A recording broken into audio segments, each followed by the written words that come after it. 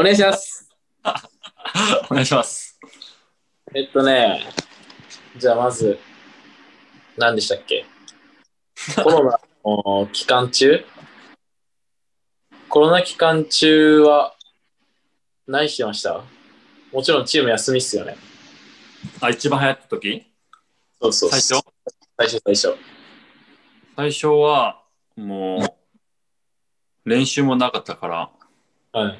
ずっと家で、ネットフリス見たり、なんか家でなんかちょっとトレーニングしてたね。体育館とか。あ、でもチームとしても全くもう自主、自分任せですか？そうだね、その時はもう、チームの練習なかったから、もうなんか、次いつ練習始まるかはまた、ああ、はい。みたいな。俺らはあれでしたよ。チームで、あのほら、GPS とかつけるじゃないですか、新潟の。あとか配られて、で、走る、走なんかもう走るときはもうその、誰もいない公園とかあ、ああ、それなんかやってたね、新潟。指定されて、うんその、走る組、今日は走る組のグループ、うんで、今日はあの家で体幹とか筋トレするグループで分かれて、あの一応なんかトレーニングはあったんですよね。何時から。ズ Zoom でつないでこういう。あで、一人トレーナーの人の Zoom つなげて、それをみんな真似してやるみたいな感じでやってたっす。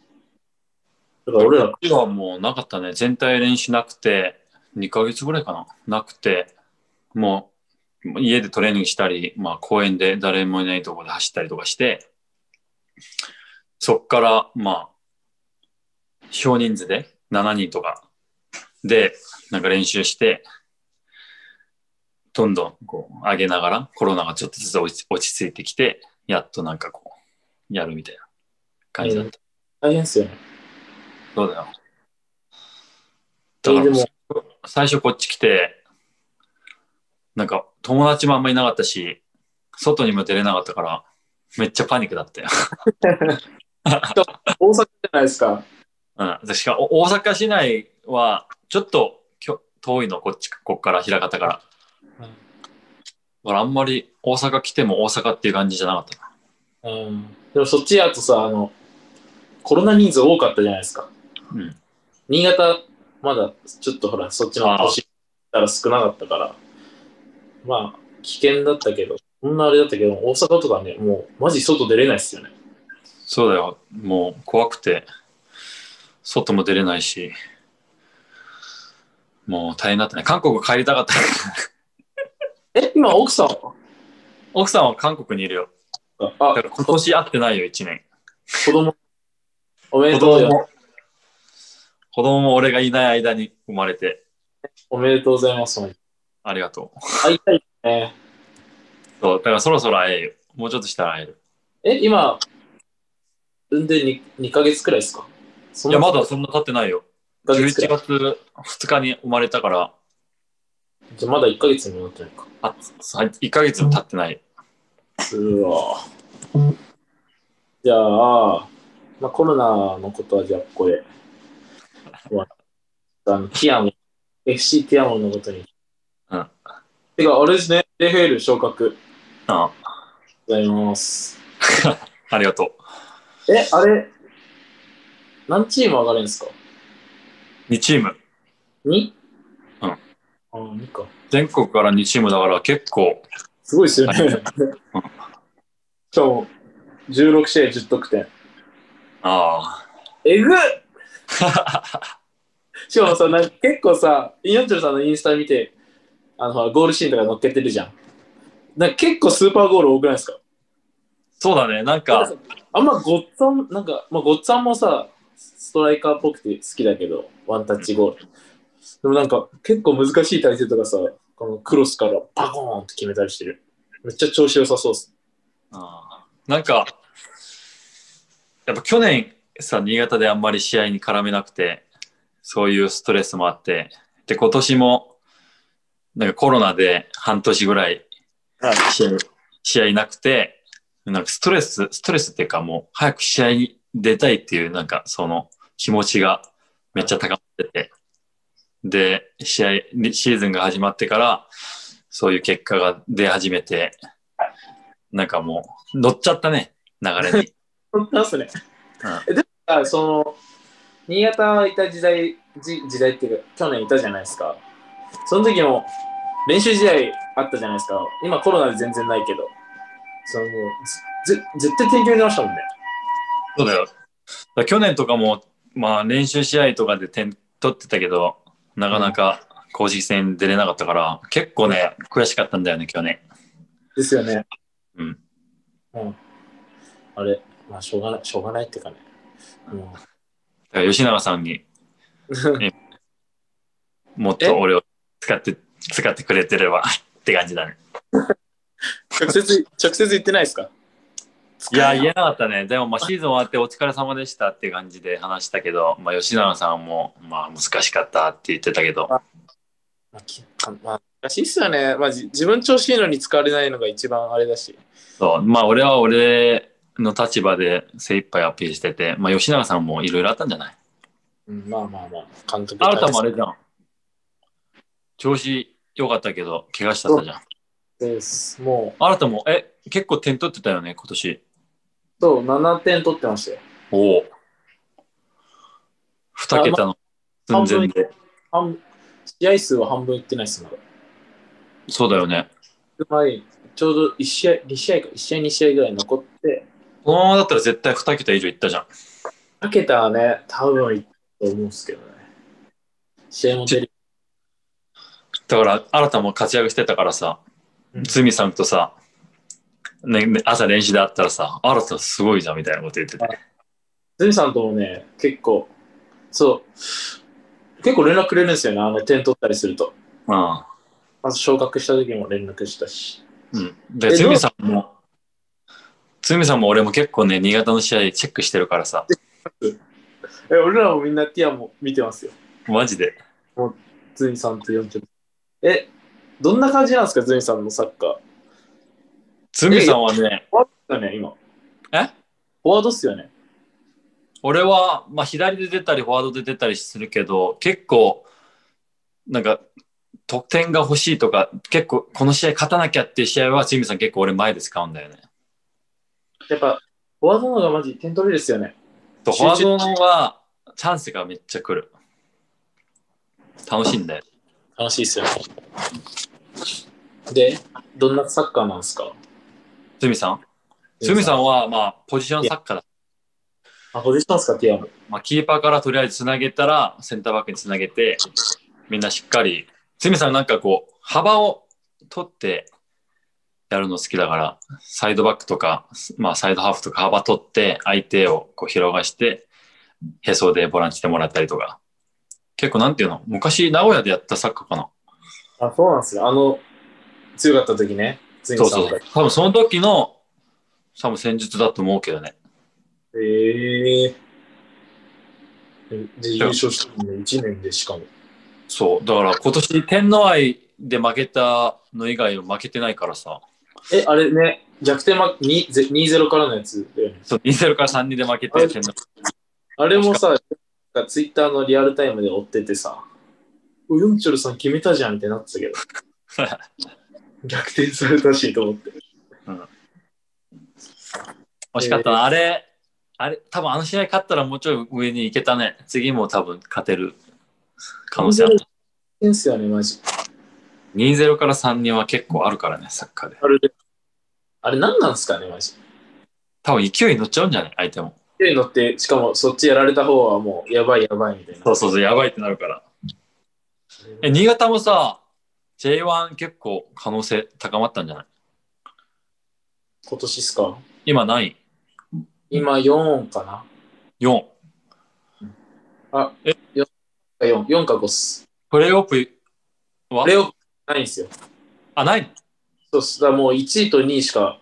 で、今結構離れちゃってるから、あ、離れてんの？あれだからもう周囲が、あと6試合あって、周囲が、もうこれ6試合中5連敗。徳島でしょ、周囲。うんええなかなか厳しいっす。そうなのなんか最近すごい、なんかいいからさ、4位とかだからさ、サッカー自体はすごいいいですよ。これいいんじゃないって思って思ってたけど、結構離れてるな。なんです。しかもプレーオフないからもう1位あ、ないんだ。ダメです。プレーオフあると思ってた。今年でも。まあ、降格がないからね。ああ。で、来年4チーム落ちるっていう。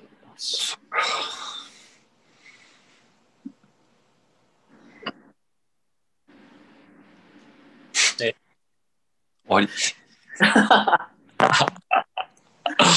終わりじゃないっすよ。終わろうとしてるんですか。え、ヨンチョルさん今何歳でしたっけ？今年31。?31 か、うんまだまだっすよね、マジ。そうだよ。まだ、まだ体的にもまだちょっといけそうな。え、去年より調子いいっすか？体。うーん。まあ、試合に手つけてるから、試合感覚はやっぱ去年より全然いいんじゃない？やっぱ選手ってさ、試合出るのと出ないって全然違うじゃん。全然違うっすね。うん練習でどんだけ上げてもさ、試合、公式戦出るのと出ないの全然違うからさ。気持ち的にも。そう。だ今年、まあ去年よりは調子いいんじゃない？うん、いいっすよ。どうっすか？その、J2 から。え？今、地域リーグでしたっけ？そう、今年地域リーグだったよ。でも地域リーグでも、ティアもすごいレジェンドの選手いっぱいいますよね。そう。こっち、野沢拓さんとか、二川さんとか、田中秀夫とか、前、新潟にもいた秀谷君、岡本秀谷あしてる。はい、してます、してます。秀谷君とか、いろいろ、石上名古屋さんとか、岡なんか本さんって、いつ入ったっすか？去年、去年？うん、だから去年から結構いろんな選手が入ったんだよね、ティアモに。うん。で、今年、俺とズミさんとか入って、で、なんか、今年で昇格したから、チーム的にはちょっと、なんか思ったより早く昇格できたらしい。いや、マジでね、すごいよね。でめっちゃ大変だったよ。何がですか？なんかやっぱ地域リーグだからさ、スケジュールもさ、もう夏の36度、5度とかあるのに、2時の試合とか、とかね、うん、2時の試合とか、あと、あの全国のリーグ行ったら3日連続試合とか、マジで大変だったよ。やば。だから高校、高校の時以来、なんか、今日試合、試合したいのに明日また試合？みたいな。ありえないっすもん。そう、しかもめちゃくちゃ大事な試合だからさ、緊張感半端ないからさ、その体きついけどなんかそんなの関係ないみたいな雰囲気出てるから。小島よしおやん。そんなの関係懐かしいね。えー、新潟遊び行きたいな。ねうんしてくださいよ。まあコロナがちょっと落ち着いたらね。コロナ落ち着かないと。え、でも新潟もどう最近コロナ？ちょっと出てますよ、やっぱ。出てる最近ちょっとみんな油断してちょっとまた入り出したんだよね。流行りだしたね。だし、あとやっぱ冬？あ寒いから？多分関係あるんじゃないですか。そんなの関係ない。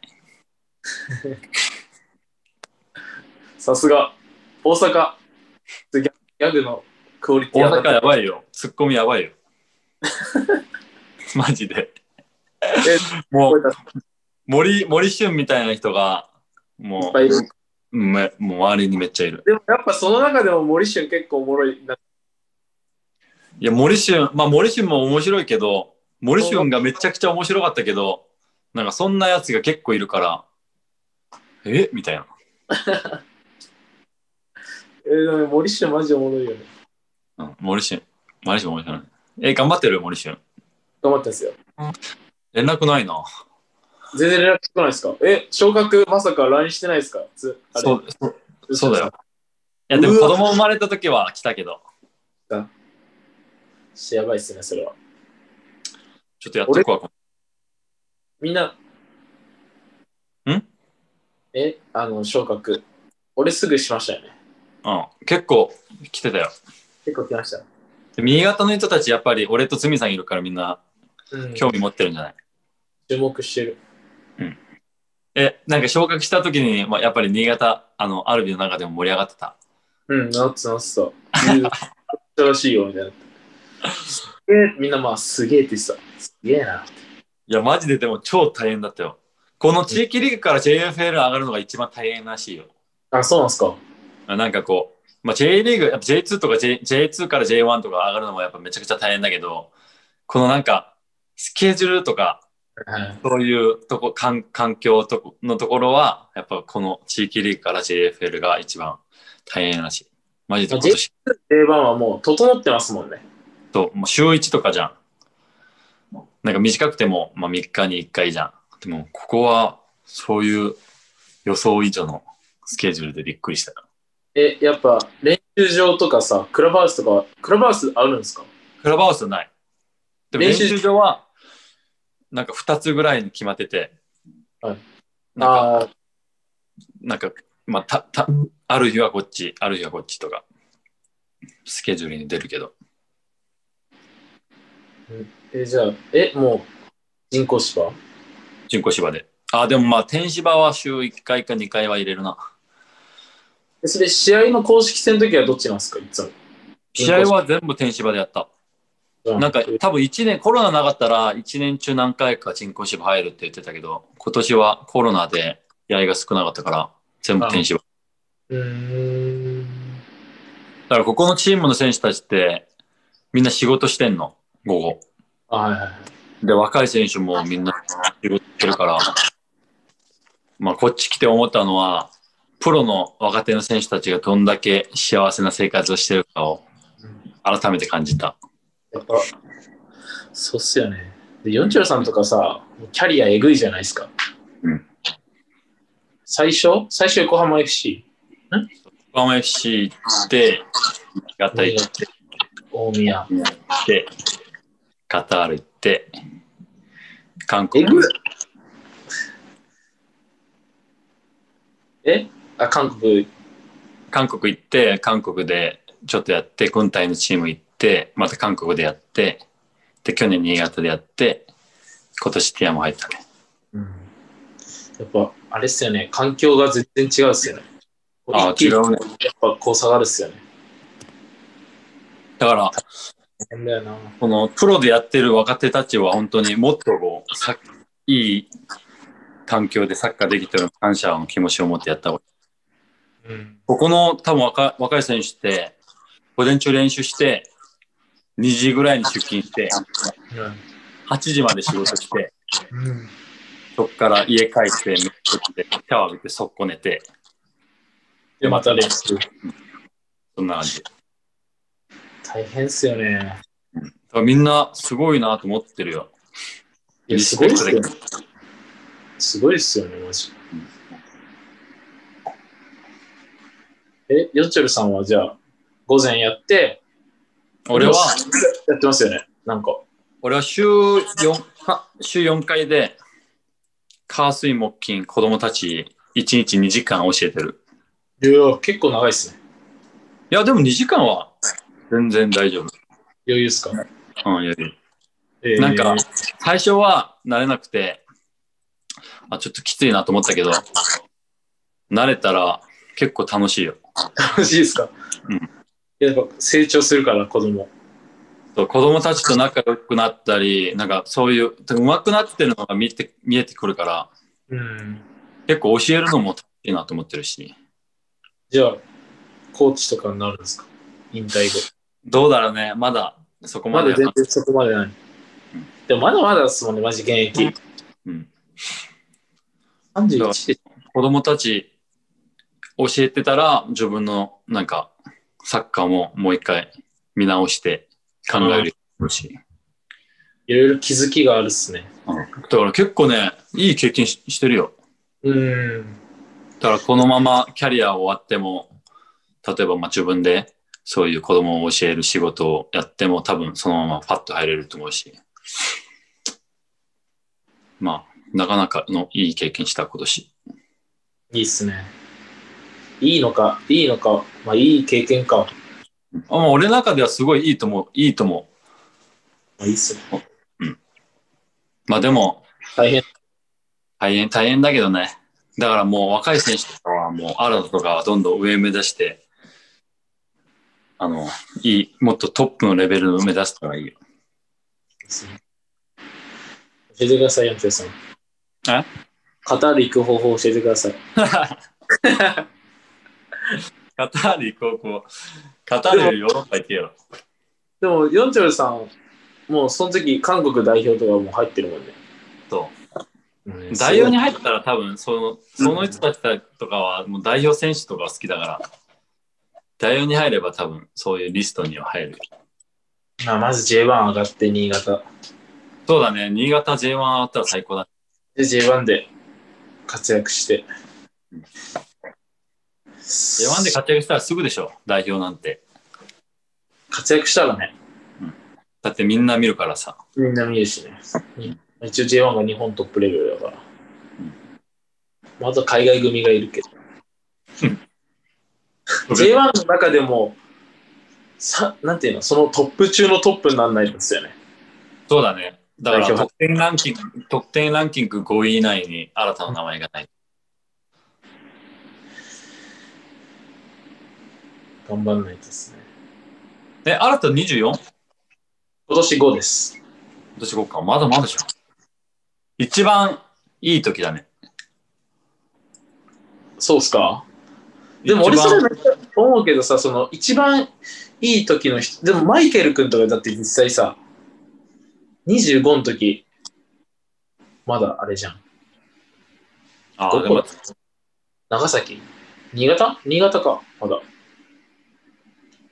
からフロンターレ、選手に違うと思う。その多分違うんですよね。うん、自分が一番いい時は。43どれぐらいですか？うん、どうだろうね。でも20、新潟の時が俺は一番楽しかったな、サッカーやってて。あの、体がね、動きが軽かった。20? 22かな ?21。20か。えー21若かに。え、25の時は？お、どこですか？カタール？25は大宮からカタールかな。その時もでもえぐいでしょ、結構。まあでも、まあ、あんまりそんな変わってないけど、なんか21とか2の時はモチベーションがあるじゃん。なんか、もっとう、もっと上手くなりたいとか、そういう欲に。そう、もっと上、上目指したいとか、そういう多分生き生きの気持ちが一番出てたんじゃない？えー、でも俺、俺まだ25の方がありますよ。そうだね。あなたはもっと行った方がいいよ。え、みんな元気？シオンとか、元気っすよ、元気っすよ。カズキとか出てるじゃん、試合。うん、和樹もよくなって、よくなってる。よくなってる、よくなってる。試合出て。うん、よかったね。じまあ、性格的に自信ないから、あ結構自信ないじゃないですか、和樹うん。でも、まあ、まだ19、20歳だからさ、これからだと思うし、今やって試合出れるって、めっちゃいい経験だと思う。そうだね。しかも、なんか、見てても、あの、何？ポテンシャル？うん。マジあるし、和樹は。マジで？うん。ええ両足蹴れるし、体でかいし、みんな言ってる。まあ、あと気持ち。まあ、そこは、試合、メンタル、メンタル。試合やっていけば絶対良くなると思う。まあ、シオンもそうだ。シオンも成長してるね。してるしてる。すごい、ボールの受け方とか上手くなってるし。なんか去年とか結構吉永さんに言われてたじゃん。でも今年とかよ間で受けるのとか良くなってるし、サイドで張ってサイドから1対1が仕掛けるのが好きだって。まあ、中も入ったり、サイドも、サイドにも張ったり、こう相手に応じてできるっす。うん。いいじゃん。新潟からどんどんすごい選手が出るのは。いいね。40新潟帰ってくるんですか？え ?40 さん、新潟帰ってくるんですか？オファーないかなオファーないか。でもティアもせっかくあげたのに。そうだね。ほんま伊沢さんがスカウトになってるかな。ねで、テラさんが、超下部。なんかいろいろ変わったね、チームも。うん。まあちょっとあの、ごたごたがあって。わかると思うけど。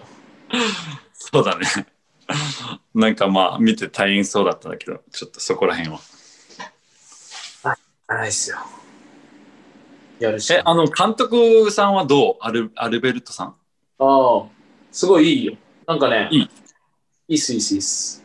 えーもう、まあ、バルセロナから来て、うん。まあ、ポゼッションサッカーが主流、なんていうの、うん、まあ、ベース、ベースなんだけど、そこにプラスアルファでやっぱ戦うとことか、球際とか、めっちゃプレあの、ちょっとアトレティコっぽい要素、えー、イメージ。それを、をむしろそのポゼッションのことも結構言うけど、球際とか戦うこととか、そのプレッシングとかの方が強く言う。えー、だからその、なんていうの、プレス結構いいってるけどさ、一旦フリーのプレスとかあるじゃないですか。ああ、一応、まあ言ってるんだけど、そんなもうガチで取り入ってないみたいな。そういうのとかを見抜いてめっちゃ切れる。えー、そういうの結構起こる。だから別、まあ、あと、あと何かな。あと嫌いなのは、まあ本当簡単な幼いミス。うん、でもその、超イージーミスとか、うん。すごい起こる。来年も契約したよね。そうそうそう。うん、だから、新潟のサッカーも多分、まあ本当に1年これやってしっかり、また、来年もアルベルト監督だから、積み上げがある。定着するんだ。そうそうそう。だから、来年もっといいサッカーで絶対できると思う。まあ、しっかりメンバーが残ることも大事だけどね。今、今年いたメンバーが。まあ、残るでしょ。あと、コーチもスペイン人だし、うん、あの、何？フィジカルコーチもスペイン人だし、いいねしっかりスペイン式をし、なんか、新潟に。結果が出てるからさ、今。うん。まあ、昇格もしできなかったとしても、もう4位とかはすごいいい結果だと思うし、まあ、一番ベストは優勝したり、まあ、2位に入ってあるところ4位とかだったら、まあ、来年期待できるんじゃない？ね、まあ、あと6試合かな。そこでしっかりね、来年に向けても大事だからね、こういう。え、怪我治った？俺まだまだです。え、いつから？まあ、最終戦、あ、ボール蹴ってる？えまだあ、まだ。あとね、1週間後にまたレントゲン取ってよかったらちょっと蹴り出す感じ。あでも、まあ、あんま無理はしたくないんで、そうだね。焦らない方がいいよ。再発して、再発がまた折れたら、もうマジでもったいないこの期間やった。そうだね。しっかり直した方がいいよ。もうシーズンも終わるし。ね、今もう、ほぼジムジムにいる。体鍛えて。体鍛えて。まあ、ちょっと走ってるけど。うん、え、ヨンチョルさん、怪我あるっすか？今年なかったね。た。今までのキャリア的に。うーん。いや、手術とかないね。ない？肉離れが一番。かな。なんか、ヨンチョルさん、ごついもんね。頑丈だもん。いや、でもなんか、まあ、その、怪我怪我の予防はしっかりしてるから、うん。多分そこが効いてると思う。うんなんか、周りの人を、なんか、前十字来たりとかを見てたら、なんかすごい嫌だったから、なんか自分で筋トレ入れたりとかして。その多分、予防が、未だにまだき効いてると思だってマジ、怪我したら、怪我しないの本当一番いいっすよ。そう。怪我しないとが一番うまいとっていうの。ね、本当そう、俺ももう、怪我したら、マジで、まあ、怪我して学ぶことももちろんあるけど、かんなんか怪我、怪我し、なんていうの、怪我しないと分かんないことっていうのもあるけど、でも別にそれはね、味わう必要ないし。そうで、マジ、怪我しないこと一番いいっすよね。俺初めて、怪我したらサッカーできないからね。ね、もうもったいないっすもんね。俺初めてこの3ヶ月離脱。マジで。えー、めっちゃ調子良かったもんね。調子いいって時こそ気をつけないと。しょうがないですね。え、あと残り、なんか試合は？ない、もう今年シーズン終あわった。終わりっすか？もう。終わり終わり。え、じゃあ何なんですか今？今はもとりあえず今週休んで、来週からちょっとチーム的にちょっと練習して終わるんじゃない？えー、いいっすね。あだからもう最後昇格で終わって、もうハッピーアンディング最だよ。いいなぁ最高だね。ジミさんもめっちゃ喜んだよ。燃えてる人もう来年に向けてもう JFL。もう JFL のあの、スカウティング始めてる人、チームの。あ、どうだろうね。ジミさんも とりあえず今年までだからさ、契約が。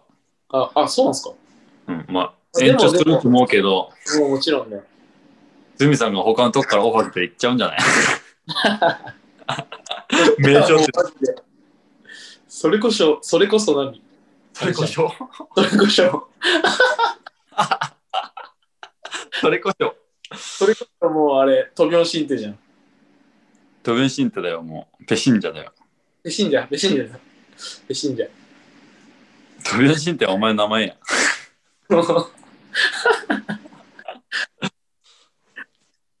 じゃあまあそんな感じですね。30分ぐらい話したっすかね。じゃない？今9時35分だよ。話しましたね。まあこれが YouTube に載って、誰も見ないんじゃない？誰も見ない。見てくれるかな？かりあれ、インスタで告知しましょう。あ、インスタで、まあ、宣伝したら見るか。まあ今日はありがとうございました。あ、お疲れ様でした。じゃあまた、直してください。はい。じゃあまた新潟行くわ。うん。コロナ落ち着いたらお願いします。うん。よし、じゃあ、また、ま連絡して。はい、また連絡しますね。はい。おやすみ。ありがとうございました。